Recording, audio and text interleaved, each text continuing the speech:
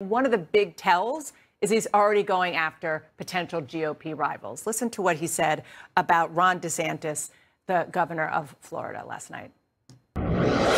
We're winning big, big, big in the Republican Party for the nomination like nobody's ever seen before.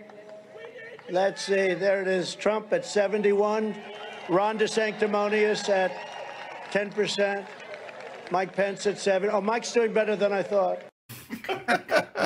Mark? Well, I want you to listen to something that the governor of California, Gavin Newsom, uh, said. And, and, in it, he was talking about really acknowledging that he thinks that this will be a wave election for Republicans. He had pretty sharp words for his party, your party. Take a listen. I could be the cheerleader. I'm also a pragmatist. You feel it. It goes to my fundamental grievance with my damn party. We're getting crushed on narrative. We're going to have to do better in terms of getting on the offense and stop being on the damn defense.